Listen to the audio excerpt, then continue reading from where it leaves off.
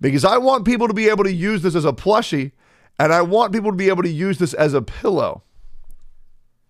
So, boys, welcome to the softest goddamn plushie you're ever going to get. And welcome the second generation of this little egg. And, boys, am I not kidding you when I say this is the squishiest egg you will ever feel in your entire damn life? Okay?